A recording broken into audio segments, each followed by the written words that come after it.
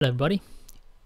In this video, I'm going to show you how to add this TidyCal booking system on your WordPress website. So this TidyCal system allows people who are visiting your website to book your services just by clicking on the buttons here. Will display a calendar system. So this calendar system is actually connected and synced to Google Calendar. So once someone makes a booking here, you will receive it and it will be displayed on your Google Calendar. So with this booking system, you can either receive payments via PayPal or Stripe, and you'd also receive a notification when the booking has been confirmed. So I'm going to show you how to add this on your WordPress website. So let's get started.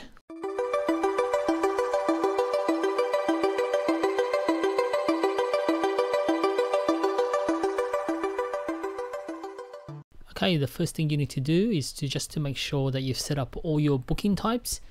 Once you log into your TidyCal dashboard, this is what you will see. So these are the booking types that I've created.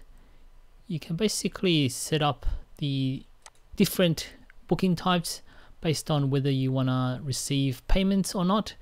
So this is the option where you actually charge for the event. You can set up what the event is about, the actual duration, the padding, and which days are available for this event or booking. And you can ask questions here. So in my particular case, if since I'm providing one of the services is to provide a website SEO audit report, I'm just asking what the website is so that when I actually receive the booking, I can actually generate the report based on that information. So you can create multiple bookings here. I've created one for testing and you can actually turn this off if you don't want it, don't want it to be shown on the actual booking page. In order to view your booking page, all you have to do is click on this link, view bookings page, and this will show you all the bookings that you've set up. So at the moment I've got four bookings and this is the page that I wanted to show on the actual WordPress website. So let me go back and show you some of the options that are available when you create a, a, a booking type. So these are the actually paid bookings. There's also ones where you do not have to charge for the event, which are free. In my particular case, I've set them all up to charge. You can select this option to embed on your website. You'll be given a HTML script where you can actually copy and paste in your WordPress website. I haven't used this option because I wanted to actually show the booking page rather than the each individual bookings types or booking events. To quickly show you the integrations that are available in TidyCal. For syncing your calendars, you can actually connect with your Google account, Office 365s, and it appears that in the future you can add your Apple accounts. So that's coming soon. I've already connected my Google accounts. So I've got multiple Google accounts and I've set one of them as the primary calendar where all the calendars from the bookings will be synced to. Just got to make sure that reading is enabled and you've got to make sure that it's set as the primary calendar.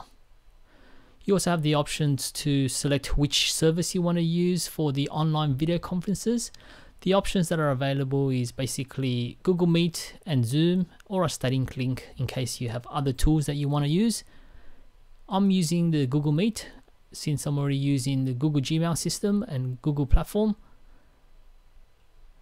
In terms of payments, as I mentioned before, you've got the PayPal and it's easy, just set your PayPal email address and Stripe. You just got to put in your keys here, your publishable key and the secret key. There are instructions available from TidyCal in order for you to add these. And there's also other automation tools using Zapier. So those are the integrations that are available. I'm just going to go show you next how I've actually added the booking page to the WordPress page website. The next step that you need to do is to add some code into your WordPress page that you want to use to display the bookings page from TidyCal. So I've already created a page called Book Me. And this is the block that I'm using. It's a HTML block. So I'm just going to quickly show you how to add that block. So click on the plus. You can go browse. And then there should be custom HTML. Select that block. So you can write your HTML code here. And this is the actual HTML code that you need to put in. The thing that you need to change is this URL. So in my particular case, we're adding an iframe into this booking page. The URL that I'm using is basically the one that was displayed on TidyCal. And then you just add the width 100% so that it, it displays it full width. In terms of height, you can play around with this depending on how many bookings you're using. And then just set the frame border to zero so it's not displaying an actual border around the iframe. And that's it. So once that is added, you can save it and preview it. Now, because I've got the code twice, it will show the bookings page twice. So there you go. So there's twice. And that's how easy it is. Just got to make sure that you're only using it once. This was just an example to show you how to add the actual code. So I'm just going to go back in there, delete the other code. And if you see it this way that's not how it actually displays on the front end page. So what you can do is you can actually edit this or remove the block. I'm just going to remove the block because I've got it set up twice. And that's it. Just update it and then test it on the front end and that's it.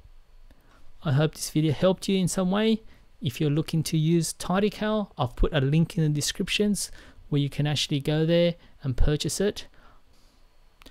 You can also check out my tools page on my website. I've put a link in the description for that as well. And you can actually see TidyCal here, which is one of the tools that I use. Just go there and then just get tidy, TidyCal. Once again, if this video helped you in any way, give it a like, subscribe to the channel, and make sure to come back as I'll have more videos to show you guys.